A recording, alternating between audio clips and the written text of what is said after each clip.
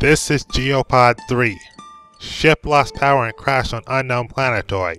Self is operational and will report findings. The ship could no longer fly. Self was stranded.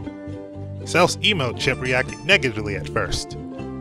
But Self knew the ship had completed its primary function and would make an excellent home base.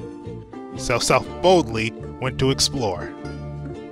Although the environment proved hazardous. Very hazardous.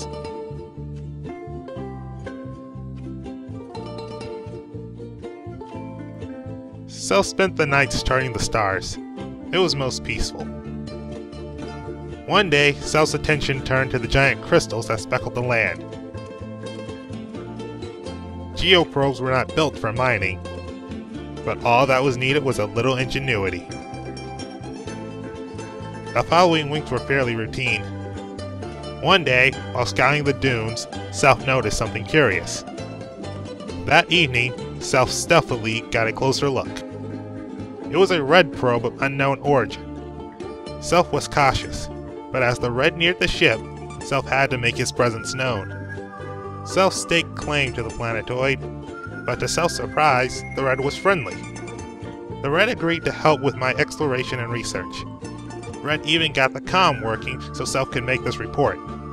Self will continue to report as the situation develops. Report complete.